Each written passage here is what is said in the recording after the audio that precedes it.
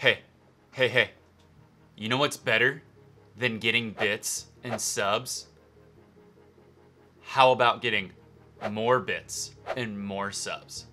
And in this video, I'm gonna show you why you should be using the new Twitch Hype Train and how it's gonna get you more bits, more subs, and overall, you're gonna be able to make more money on every single stream you do from here on out.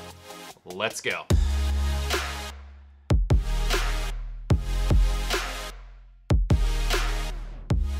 Hey all, Wild coming at you. If this is your first time here and you're looking how to become bigger and better with your streaming content creation, you came to the right place.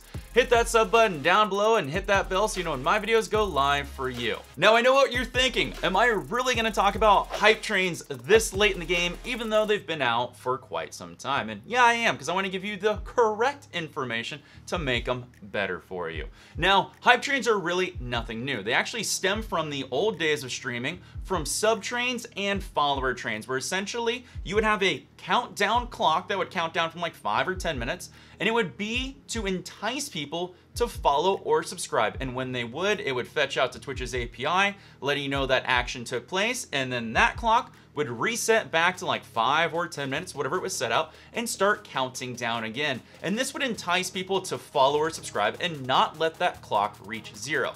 Kind of a cool idea, poorly executed back in the day. Really unique when it first came out, but as the days went on, it became really annoying to have these alerts and countdowns take up a lot of the space. A lot of hype trains still have the same problem. They're too intrusive, they take up a lot of screen space, and a lot of them play some god-awful sounds. And the nice thing about the Twitch hype train is they really took that in consideration and the hypeness actually takes part on top of the header of the Twitch channel chat section.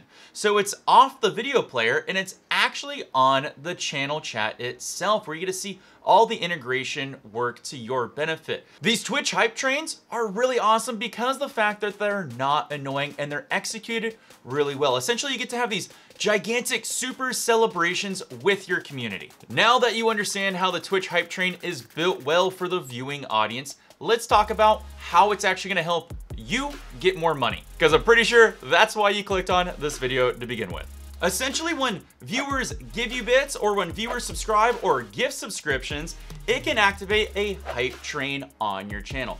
And the sole purpose of this is to entice people to keep that hype train going from one tier to the next to encourage them to reach in to their pocketbook or to engage a little bit more to get the hype rolling on your channel. And when it does roll out with the hype, that is an opportunity for you to make more money. So why does this matter to someone like you out there? Well, there's been tons of articles written from like Streamlabs, Stream Hatchet, StreamElements, all those analytical companies out there that having online alerts and displays really increases the revenue that you can make on your channel.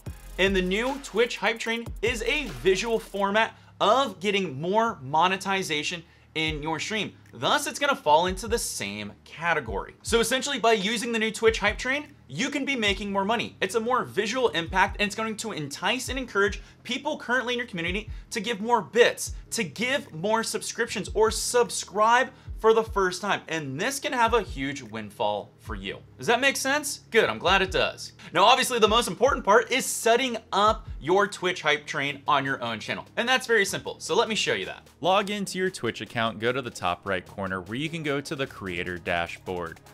In the top left corner, we'll give you the accordion section where you can click on preferences and go to affiliate or if you're a partner, click on partner.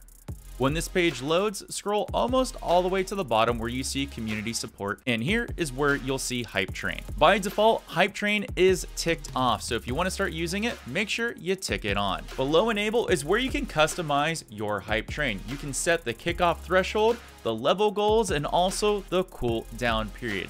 Make sure you play around with these and tailor them towards your stream. If I can give you one bit of advice, I would most likely recommend starting off at easy and get a feel for how your community likes sub trains. If they start doing them a lot, you can slowly start moving these up to harder and harder and harder goal levels. To be honest, when I first heard about this new element coming to Twitch, I literally was like, whatever, that's cool. But now that I've played around with it a few weeks, I really, really like it. And I have seen an increase in bits, subscriptions, and gift subscriptions. So I know it's gonna work for you too. Now, if I could give you one little hidden tip that's gonna make hype trains work even more for you, try to be more of a salesman. Have a little more charisma when those hype trains go, because you want to encourage people to get that energy, to get that hype, so that way they're gonna support you to go from level one, two, three, four, and up to five to unlock all those fun emotes. Start becoming a little bit of a salesman and hype up your own channel so that way it's gonna be epic for when you reach those tiers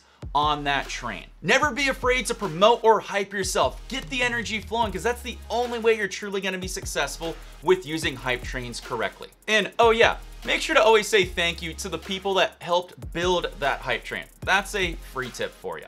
Now, the only thing that I don't like about the Twitch hype train is the fact that it's lacking a little bit of an incentive for the community. And I have an idea for anybody out there in the Twitch universe or works at Twitch. Perhaps this can gain a little bit of traction with all you people out there.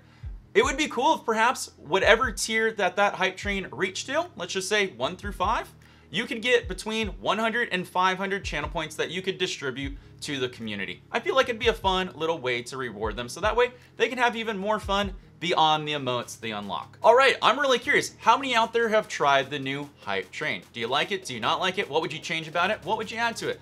Make sure you leave me a comment down below because I would really love to hear your feedback.